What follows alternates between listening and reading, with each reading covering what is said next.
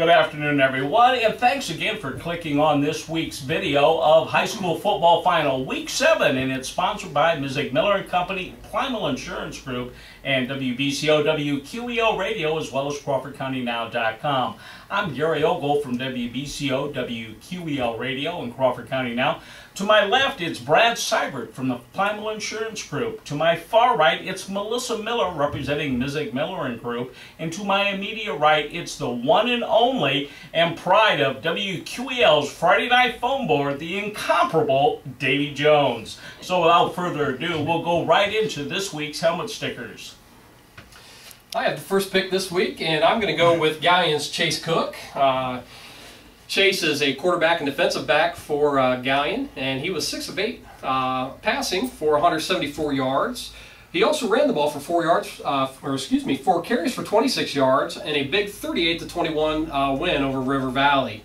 Uh, he also had 5 uh, tackles, 3 solo, 1 behind the line. Chase Cook, you get the first sticker of the week. Congratulations. My sticker goes to Mohawks Ryan Strasbaugh. Ryan played defensive back. He had a huge win against Upper Sandusky 20 to 7. He had 11 tackles and 4 were solo. One was behind the line. As a corner, these are big numbers. Great job, Ryan. Next up is Buckeye Central wide receiver Bryce Brenneman. Bryce had six catches for 136 yards in the Bucks' big 48-19 win over Bucyrus. That win, by the way, propels Buckeye Central into controlling its own destiny into Week 7 and the postseason.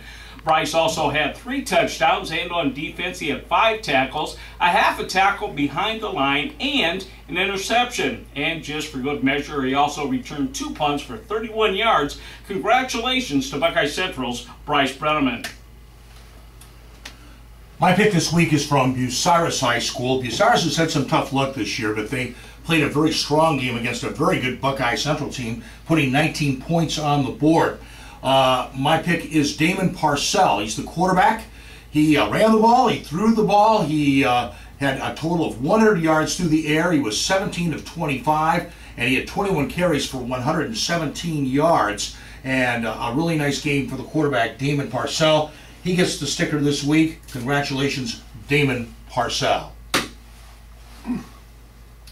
My second pick is going to go to Cole Fortner for uh, Wynford on a big 55 to 6 uh, in-10 win over uh, Seneca East, uh, which puts uh, Wynford in the driver's seat. Cole basically took the ball to the house every time he touched it. he had four carries for 105 yards for an average of 26.3 yards per carry and crossed the goal line twice. On defense, he had three tackles, and one of those was solo. Cole Fortner, great job on a big win. Final pick here is for Riverdale's Tristan Davis. Riverdale's also had some tough luck this season, but they played a very good game against a very strong Liberty Benton football team.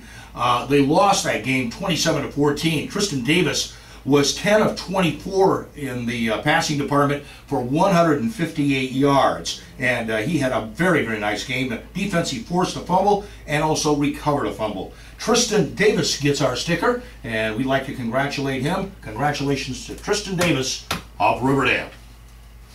All right, players, I just want to remind you also that you get one of these t-shirts.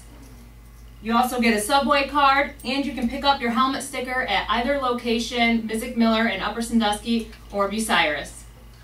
That'll do it for this week's high school football final. And again, we thank each and every one of you for clicking on the video and watching.